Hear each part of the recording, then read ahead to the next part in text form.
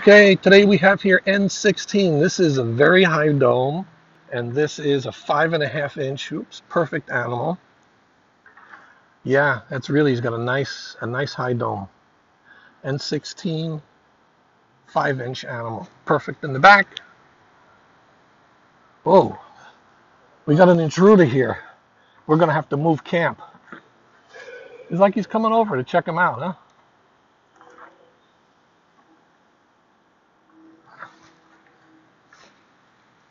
He just wants to see if we have food, probably.